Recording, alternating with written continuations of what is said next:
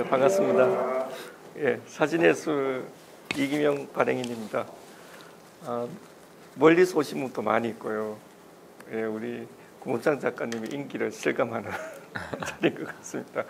저희 사진예술이 원래 33주년을 맞이했어요. 그 우리 한국인들에게 삼자, 동양인들의 삼자는 굉장히 기분 좋은 숫자잖아요. 어, 그래서 이제 이 삼자가 둘이라고 해서 저희가 연결해서 33주년을 기념하는 책도 내고 또 전시도 하게 되었습니다. 전시를 하면서 우리가 좀 의미 있는 이벤트 행사를 하자고 해서 우리 한국의 대표적인 사진가 중에서도 또 대표적인 사진가 두 분을 모시고 작가의 만남을 하게 되었습니다. 한 분은 우리 파인아트의 거장이신 구문창 작가님과 또 다른 한 분은 우리 다큐멘터리 사진계의 거장이신 가운구 선생님 작가의 만남이 또 7월 23일 날 준비되어 있으니까요. 그때도 함께 해주시면 좋을 것 같습니다. 아, 제가 좀 앉아서 우리 구문장 교수님과 아, 질의응답을 하도록 하겠습니다. 아, 우리 한국 사진에 있어서 중요한 전환점을 가져오는 전시회가 있거든요. 몇 개가 있는데 그 중에 88년도에 있었던 그 세시자전 이 굉장히 그런 중요한 역할을 했다고 생각됩니다. 여러분 1988년도는 이제 서울 올림픽이 열렸죠, 그죠? 그래서 우리 한국 사회가 그런 큰 국제적인 행사를 할 만큼 역량이 한껏 올라갔가 동시에 그 88 올림픽을 계기로 사회 전반에 굉장히 큰 발전이 있었던 것 같습니다. 우리 사진계 또한 88년의 새 시자전을 계기로 큰 부흥이 오게 되었다고 생각됩니다. 곧 이어서 1989년에 월간 사진 예술이 창간하게 됩니다. 예, 그래서 우리 구본장 교수님은 작가로서뿐만 아니라 우리 한국 현대 사진에 있어서 중요한 시기에 중요한 기획전을 많이 했거든요. 그래서 기획자로서의 또 구본창 또한 중요하다고 봅니다.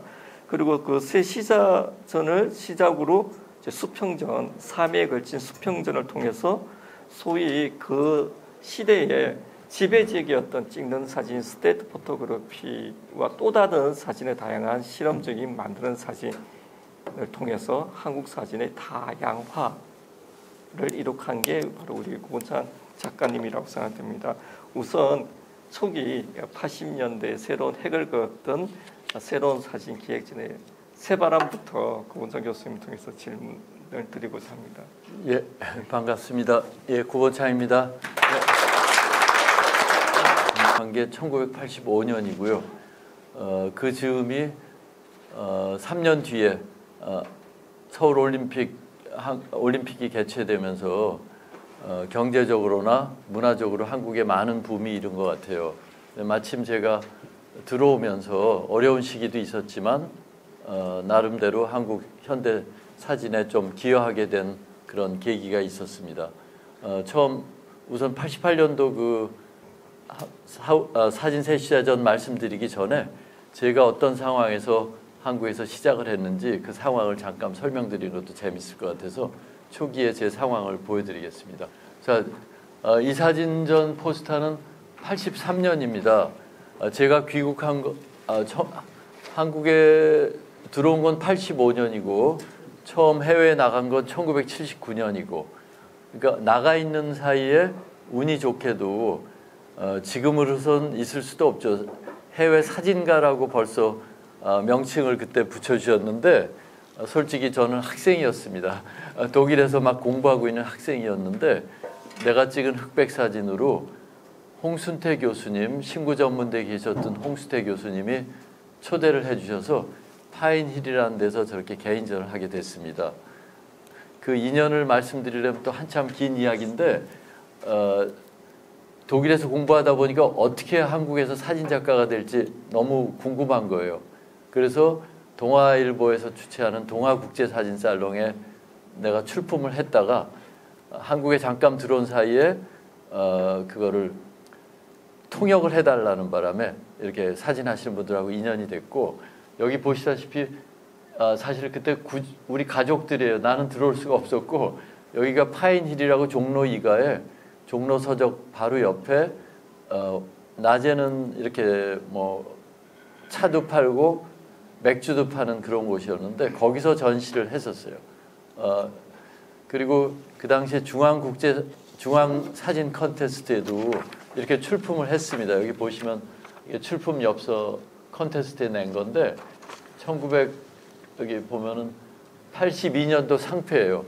제가 저렇게 이런 상패를 받아야 사진 작가에 이제 들어가나 보다. 그리고 40년 전에 시도했던 건데 오늘 이 자리에 제가 작가로 이렇게 여러분들 앞에 앉아 있게 된 게 아마 이 상패 덕인가 그렇게 된 것 같네요. 예. 자 그래서 어, 입선도 이렇게 한 적이 있었고요. 어떻게 해서 한국에서 살 수 있을지 고민을 많이 했습니다. 처음에 한국에 들어오자마자 어, 조그만 아파트에 그냥 이렇게 골방처럼 살고 있었고 바깥 세상과 소통하고 싶지 않아서 아예 그냥 창 문창호지를 다 발라버려 가지고 보고 싶지도 않았고 거의 격리되는 그런 생활을 하고 지냈어요. 그뭐 조그만 쪽상 하나 놓고 어 그냥 뭐를 하고 살아야 될지 고민하고 지낼 때인데 그때는 정말 돈이 하나도 없어서 이렇게 그 저축 추진 중앙위원회라고 신문에 광고가 났더라고요. 뭔가 거기 포스터에 입선을 하면 그때 돈으로 뭐 30만 원을 주든지 상금이 있었던 것 같아요.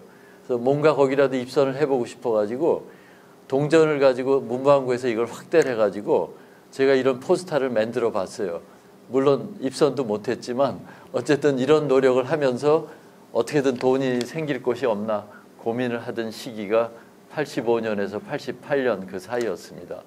아, 그때 여기저기 찍으러 다닐 때 제 모습입니다. 이건 아마 속초 쪽에 갔을 때 같고요, 동해안에. 그리고 그때 뭐 암실이 없어가지고 저도 어, 화장실에서 이렇게 흑백 암실처럼 현상하고 그다음에 서울에는 서울 상사라고 종로 3가에 조그만 어, 인화지 책방 인화지 파는 데가 있었는데 거기서 이렇게 인화지 사가지고 돌아가고 하던 그 시절인데 어떻게 사진이 한 장이 남아 있어서 들고 왔습니다. 그리고 이거는 그때 그래도 영 레이디라는 잡지에 한국에 처음 들어온 어, 공부하고 온 사진 작가다. 그래가지고 이렇게 멋있게 실어줬던 게 있고 어, 그때 글 써준 분이 참 어, 그래도 잘 써주셨고 그 당시로는 참 굉장히 감성적인 사진을 이렇게 네 장씩 페이지에 실어줬던 생각이 납니다.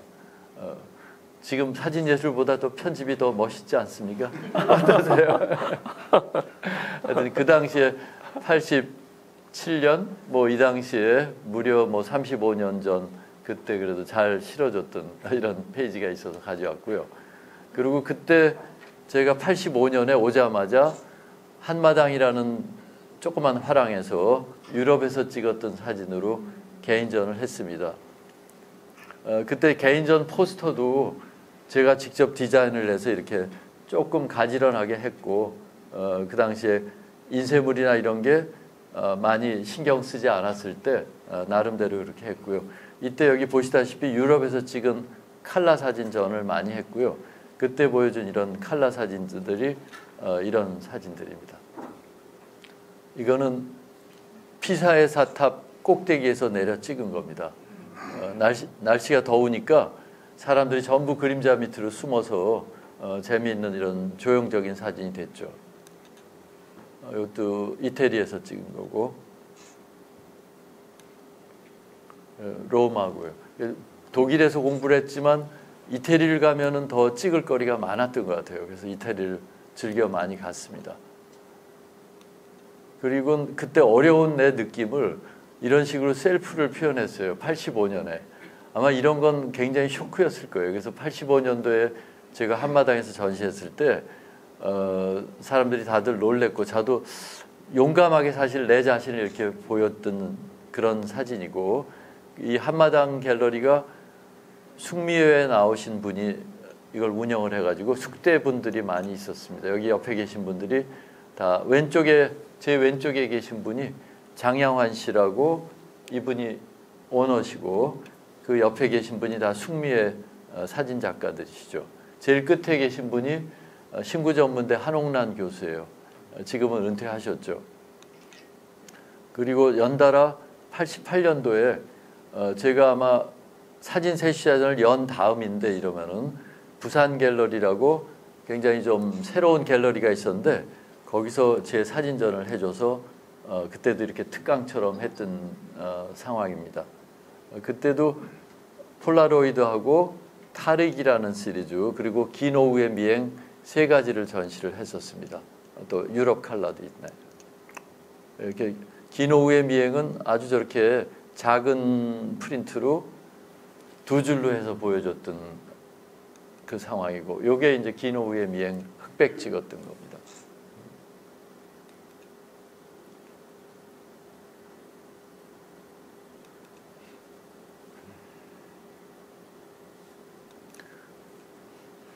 그래서 두 대의 카메라를 들고 다니면서 흑백과 칼라로 이 도시 풍경을 스냅을 했었고요. 그 흑백 사진으로는 어, 최근에 2년 전에 일본에서 그 책이 하나 나왔죠.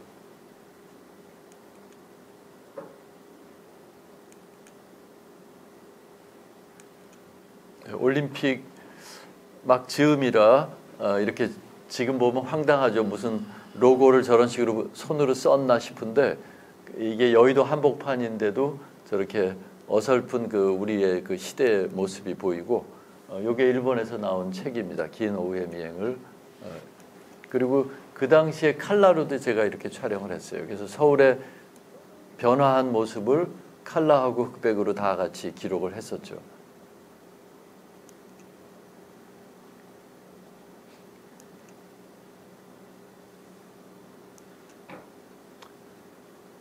여의도에 풀 한 폭이 안 났는데도 전부 주말이면 그래도 저기에 다 피크닉이라고 나와서 있는 게 어, 너무 인상적이라 촬영을 했었고요. 올림픽 예, 프로모션 하기 위해서 행사하는데 사람들이 구경하는 모습입니다.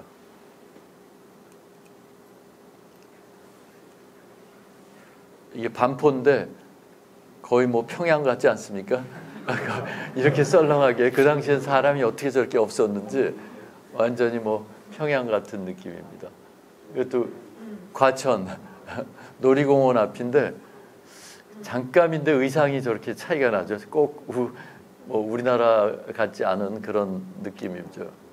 이건 그 을지로 뒷골목에서 찍은 거고요.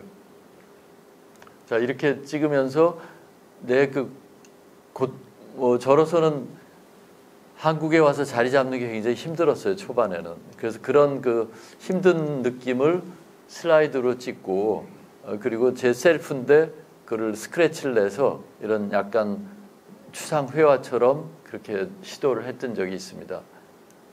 어, 그리고 답답한 마음을 이렇게 도시 풍경하고 내 모습을 같이 두 개를 세트로 한 적도 있고 그런데 어, 그러면서도 제가 사이드로 어떤 일을 했는지를 보여드리려고 가져왔는데 이렇게 무용하는 사람들 이거는 달력 겉장인데 인연이 돼서 무용하는 사람들을 찍게 됐어요. 그래서 그 사람들을 찍어주면서 인물 사진 찍고 뭐 몇십만 원, 뭐 포스터 찍어주고 얼마 받고 이러면서 근근히 내 생활을 할 때였고요. 어, 그러면서 인연이 돼서 그래도 무용 포스터를 잘 해드렸고 김복희 김화숙 무용단이라고요. 그 중에 한 단원을 이용을 해서 찍은 게 이 태초 시리즈예요. 여러분들 태초 시리즈 많이 보셨죠? 어, 모델이 뭐 누군지 뭐 다 궁금하고 했을 텐데 어, 그때 이 김승근이라는 작가였는데 그분이 자기 무용 팜프렛을 만들어야 된다. 그래서 찍어주면서 친해져 가지고 내가 셀프로 할 수 없는 몸의 표현을 그 사람을 시켜서 하게 된 거죠 이렇게. 그리고 그 당시에는 우리나라에 팔고 있는 인화지가 전부 A10 아니면 1114밖에 안 됐었어요. 어떻게든 큰 거를 하고 싶어서 이렇게 꼬매게 된 거죠 제가. 그래서 크게 해서 감동을 주고 싶어가지고 어, 여기도 있고 그래서 이게 다 무용수들을 이용을 해서 어, 그런 촬영을 하고 이렇게 아주 대형으로도 프린트를 했습니다. 이거는 네 장의 네가티브예요. 네가티브가 손하고 발이 따로 따르고 각 하나 하나에서 네 장의 네가티브고 인화도 네 장으로 해서 같이 엮은 겁니다. 우리 조각보를 생각을 해서 오래되고 낡은 거를 이어주는 조각보처럼 이렇게 같이 합치게 됐고요.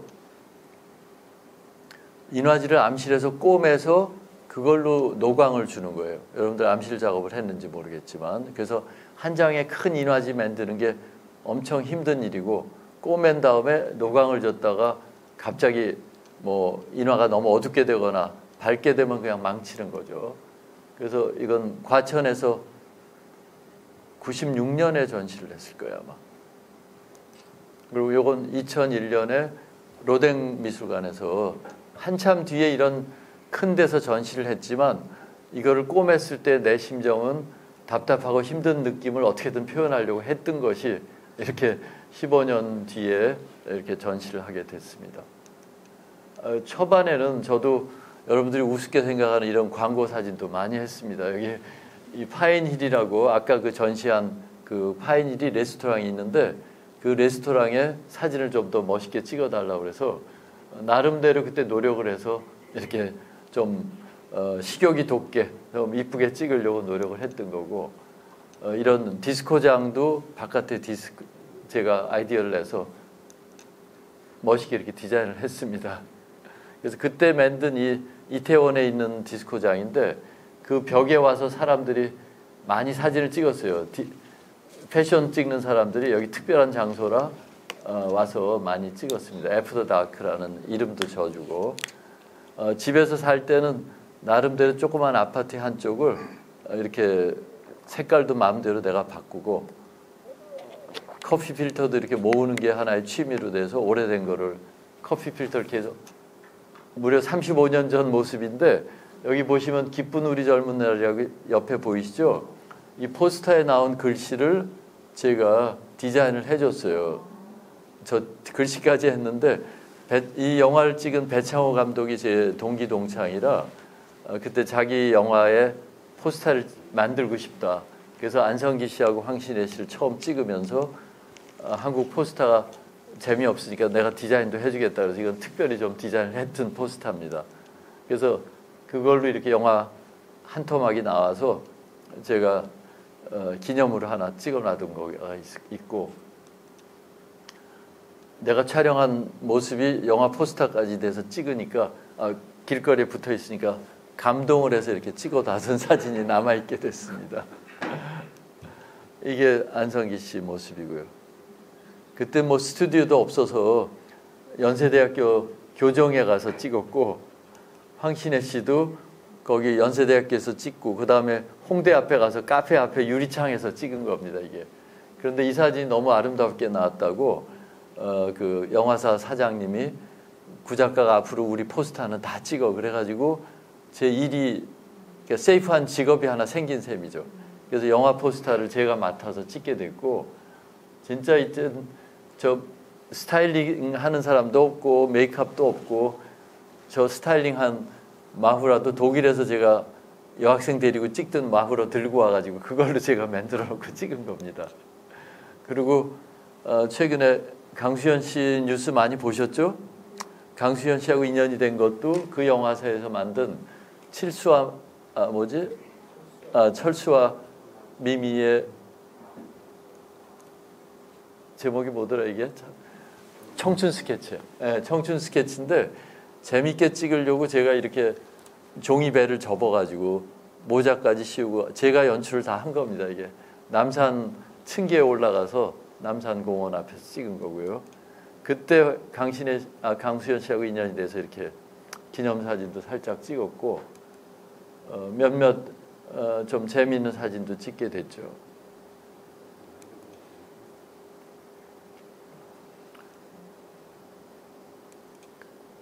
안타깝게 다시 사진을 보니까 좀 가슴이 서늘한데 어, 금호미술관에서 그때 인물 사진 전시가 있어서 강수연 씨도 와서 축하도 해주고 좀 인연이 있었습니다. 그리고 이게 바로 이번에 많이 본 사진인데 사진 촬영한 거는 전혀 이렇게 우울하게 찍을 사진이 아니고 아까 여기 다른 분이 누가 가지고 계시던데 이따 쉬는 시간에 한번 보세요. 그럼 바자에서 나온 어, 인물 사진집이 있었어요. Timeless Beauty라고 우리나라 배우들을 찍어주는 건데 어느 한 순간 굉장히 그 어, 서글픈 표정을 지어서 찍어놨는데 이번에 사용하게 됐습니다. 그래서 이제 나중에 시까지 제가 여러 영화 포스터도 이렇게 하게 됐고요. 이런 일을 하고 또 에스콰이어 이런 패션 뭐 사이드로 이런 패션 일도 하면서 이거는 제일 모직 패션인데 굉장히 남성복의 광고에 어울리지 않게 그 당시에 너무 앞서가게 디자인을 했죠 제가. 어, 이런 일도 하면서 또 88년도에는 올림픽 포스트 엽서도 제가 만들어줬어요 이렇게. 인연이 돼서. 이거는 제가 시간 강사를 나가는 학교에 디자인하는 선생님이 엽서 일을 땄다고 어, 구본창 씨가 엽서 좀 디자인했으면 좋겠다 그래서 사진과 이 디자인을 제가 해주었습니다. 우리나라 담하고 시리즈를. 그러니까 너무 장황하게 설명을 했지만 88 그 사진 세시자전이 나오기까지 어떤 일을 하면서 지냈는지 여러분들이 보셨으면 해서 가져왔습니다. 이게 우리나라 담을 이용을 해서 하나의 주제로 외국인들이 우리나라 담을 엽서에 사서 가지면 좋겠다 해서 주제를 제가 정해서 이렇게 했습니다. 이제까지 제가 전시를 기획한 게 여기 쭉 하면 아마 열, 어, 이게 12개 넘는 전시를 기획을 했어요. 그래서 그 전시에 그 중에 제일 중요한 것 중에 하나가 아, 18개네요. 근데 그 중에 하나가 지금 이 사진 세시자전이에요. 그 지금 방금 어, 대표님이 질문하신 것처럼 88년도 워커힐에서 어, 이런 전시를 하게 됐는데 워커힐 미술관은 여러분들 아시는 분 계시나요 혹시? 거의 모르시죠? W 호텔은 아세요? 서울에 W 호텔이라고 있는데 그게 그 당시에는 워커힐 미술관이 있는 워커힐 호텔이었는데 어, 거기서 전시를 했어요. 거기 미술관은 뭐 보통 굉장히 세계적인 거장의 전시를 많이 하던 곳인데 참 어, 인연이라는 게 재미있어요. 어, 이건 그때 세미나 했던 건데 그 당시에 이런 세미나를 김승곤 선생님이라고 사진 평론하신 분이 해주셨는데 여기 여러분들이 보시는 뭐 베르나르 포콩 또 신디 쇼만 뭐 이런 사진 작가들의 사진도 한국에 많이 소개가 안 됐을 때 우리가 특강을 이렇게 해두고 그리고 전시가 어, 미술관이 이렇게 커요. 그래서 원래 대형 미술 작품을 전시하는 곳인데 어, 사진 전시를 크게 하게 됐어요. 근데 이렇게 전시하게 된 것도 여러분들 어, 아까 제가 엽서 보여드렸죠. 그 올림픽 엽서하고 또 영화 아, 무용하는 사람들 브로셔 보여드렸는데 그 인쇄를 하러 제가 조그만 인쇄소에 가게 됐어요. 그 인쇄소를 계속 드나드는데 바로 거기 워커힐 미술관 과장님이 와서 맨날 인쇄를 하더라고요. 이게 참 세, 세상 일을 알 수 없는 게 그 과장님하고 매일 그 인쇄 진행하면서 지켜서 보면서 아 요새 사진하는 사람들이 너무 새로운 사진 이 트렌드가 이제 생길 텐데 워커힐 미술관 같은 데도 사진 전시를 하면 너무 좋겠다고 제가 아주 몇 번 몇 번 얘기를 하게 됐어요. 그 계기로 그분이 그래도 참 흔쾌히 아 그럼 한번 윗분한테 상의를 하겠다. 그래서 윗분한테 말씀을 드려서 제가 이러이러한 작가들을 꼭 소개하고 싶다 그래서 그분의 포트폴리오처럼 만들어서 가서 보여준 게 계기가 된 거예요. 아마 모르는 사람은 구본창 씨도 뭐 어떻게 약삭 빠르게 저기 워컬 미술관을 어떻게 이걸 어? 포트폴리오를 들고 저걸 했나 생각하실지 모르겠는데 참 운이라는 게 그런 것 같아요. 세상 제가 이렇게 40년 넘게 사진 쪽에 일을 하다 보면 별거 아닌 일이 제 인생에 많은 좋은 영향을 갖다 준 것 같아요. 운명적으로. 아까 그 무용 포스터 또 88 올림픽도 가서 인쇄하려고 갔는데 그 인쇄소에 바로 워커힐 미술관 사람들이 나와서 인쇄를 진행하고 그 옆에서 제가 계속 현대 사진이 새로운 게 온다. 여러분들 거기서 꼭 사진전을 하면 좋겠다 해서 하게 된 거고요. 여기 지금 이 보여주는 이 작가도 굉장히 어, 이규철이라고 홍익대학교 나오신 분인데 이렇게 사진으로 입체물을 만들었어요. 저는 새로운 경향을 보여주고 싶어서 어, 이렇게 어, 다채로운 그 기능 어, 어떤 새로운 시도 어, 그런 걸 하시는 분들을 주로 모아서 여덟 명이 전시를 하게 된 거죠. 근데 공교롭게도 하다 보니까 다 해외에서 조금씩 공부를 하다 들어온 사람이 모이게 돼서 어, 여기에 대해서 평을 쓰신 분도 유학파라는 말씀을 하게 됐고 어, 이때 이건 이주용 씨고 이거 뭐 예전에 그 당시에는 건프린트라는 게 너무 새로워가지고 새롭다 그랬는데 이제는 뭐 특수 기법 그래서 누구나 다 할 수 있죠. 이게 이주영 선생이 지금 한예종에서 수업을 하죠. 했던 작업이고 이거는 김대수 교수가 어, 대나무 많이 찍는 김대수 선생인데 그 당시에는 이렇게 자기 셀프를 이용해서 어, 인체를 가지고 작업을 했었습니다. 이렇게 큰 전시로. 그러니까 워커힐에서는 그 이전에 우리나라의 뭐 풍경 사진이라든가 다큐멘터리든가 거의 전지 정도의 규모로 했다가 이렇게 뭐 회화처럼 대형 사진들이 와서 전시를 하니까 굉장히 센세이셔널했죠. 그리고 사진도 뭐 스크래치를 내거나 뭐 긁거나 여러 시도들을 하니까 이게 만드는 사진이라는 단어도 그때 처음 나왔고 어? 또 여긴 최강호 씨예요. 최강호 씨는 1과 2분의 1인가 그래가지고 사진 일부러 이렇게 쭉 한 프레임이 아니고 카메라를 일부러 고장을 내서 1과 2분의 1이 걸치게 찍히게 해가지고 그걸로 새로운 시리즈를 시도를 했습니다. 그리고 하봉호라는 분은 일본에서 공부를 했는데 이 사람도 인화지를 좀 태우거나 어, 해서 이렇게 열로 지져서 기포를 만들거나 옆을 태워서 어, 이런 작업을 했어요.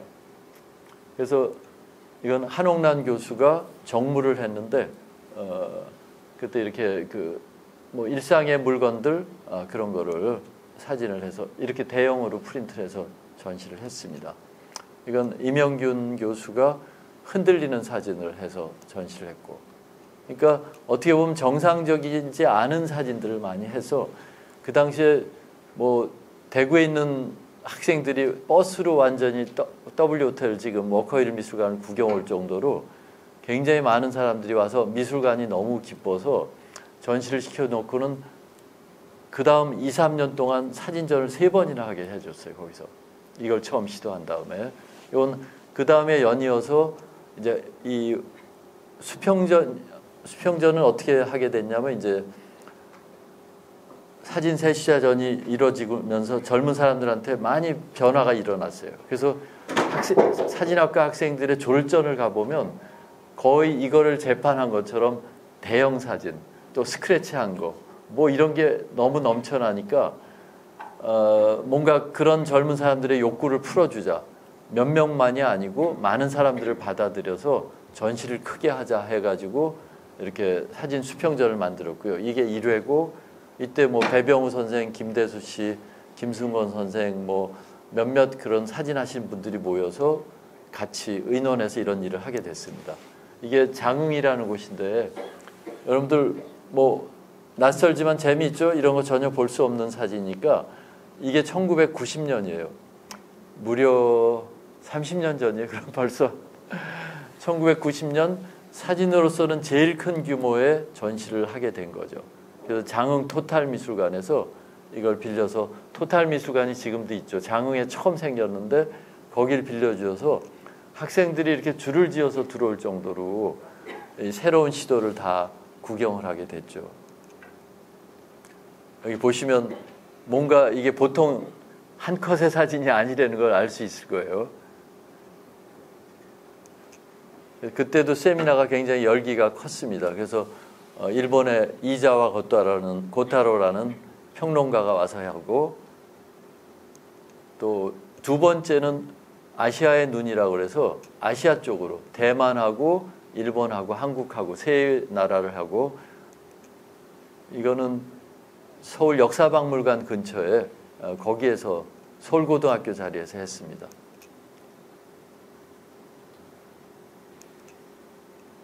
그리고 세 번째가 어, 한국 사진의 수평전 마지막 회인데 이때 어, 세계의 눈이라고 그래서 프랑스와 독일의 그 큐레이터를 불러서 세 나라의 그 세 나라는 아니죠. 프랑스하고 독일이지만 유럽 사진을 많이 선보이게 됐고 어, 이렇게 세계적으로 넓히자 그런 의도로 3회까지 하고는 우리가 끝나게 됐죠.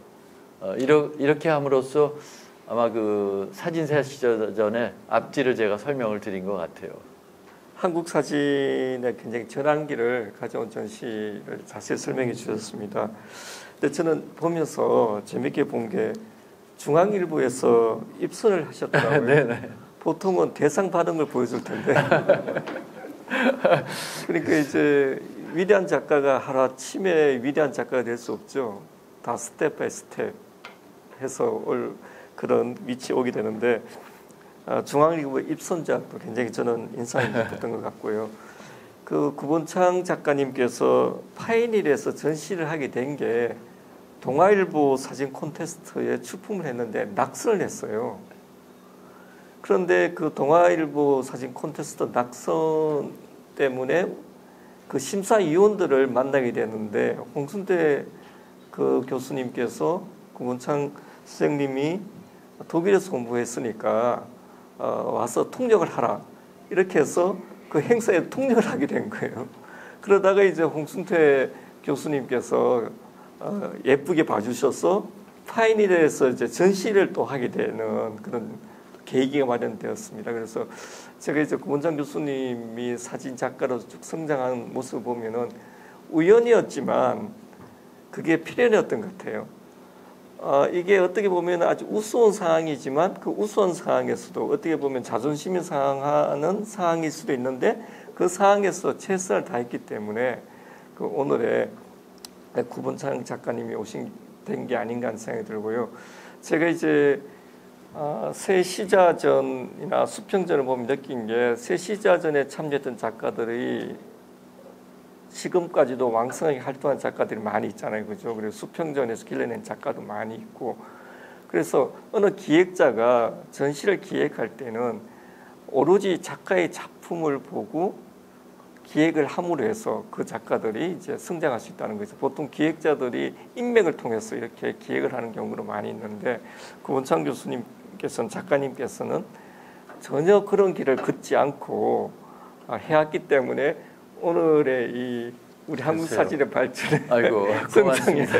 어, 큰 그렇게 칭찬의 말씀을 해주셔서 감사하고 많이 들고요. 예, 예. 그리고 이제 우리 구봉창 작가님께서 800 미인이신 것 같아요. 영화 포스터로 찍었죠. 패션도 했죠. 광고 디자인도 했죠. 그러면서 전시 기획자로서 그리고 또 fine art 작품 앞으로 쭉 보여줄 텐데요. 어, 그런 큰 역할을 많이 했습니다. 그래서 요즘은 이제 멀티미디어, multiplace 시대인 거고 그러면 하나의 장르만 다루는 게 아니고 복합적으로 장르를 바라보는 시각이 필요한데 구본창 작가님은 1980년대부터 그런 생각을 갖고 해왔다. 아, 그래서 이제 오늘의 구본창이 있었던 게 아닌가 그렇게 생각됩니다.